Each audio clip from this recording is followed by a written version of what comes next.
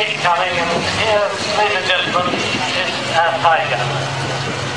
I ought to emphasise that this tank is near enough to the. It has been rebuilt, but all we're using the same original components. So this particular tank, which was captured um, by the British, I might say, in uh, Tunisia in 1943, is still in its original, near original condition.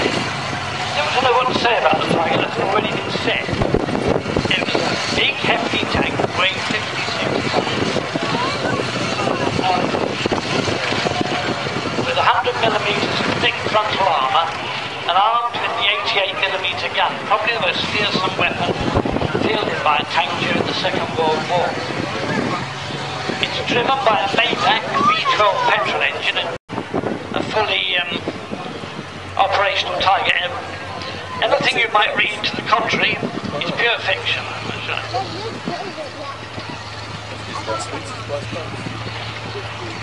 See the smoke discharges on each side of the turret? They're there to lay a smoke screen in front of the tank and at the back. You've got the special air cleaners that were developed for the desert and the covering Finn? exhaust pipes.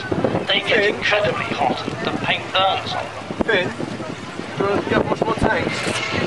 The thing is that Tiger has a fearsome reputation, but it's worth remarking that it was seen in Germany as more of an interim design. They only built about 1,300 of them, which is not very many if you compare it with something in the region of 50,000 Shermans or 70,000 T-34. But the Germans had really set their heart on the King Tiger, or Tiger II, the tank that was going to bring them victory in 1945. As it was, they could only produce about 500 King Tigers, and therefore had pretty well sealed their fate at that time. But it's of a, the other thing, again, going back to what we talked about earlier, if you look when the Tiger comes round, the drive sprocket is at the front. And the driver is actually sitting um, over the gearbox, as it were, and he can drive and steer the tank from there.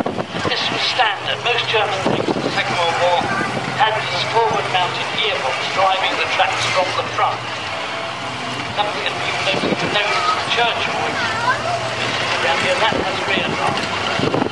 It's got a Bedford flat 12 engine in it, um, coupled to the uh, Merritt-Brown steering system.